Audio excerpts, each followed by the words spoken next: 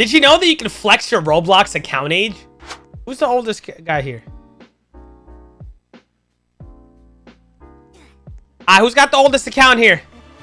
Who's got the oldest account? Oh, 2008? My guy's from 2008. What are you doing, bro? 2008? 2009?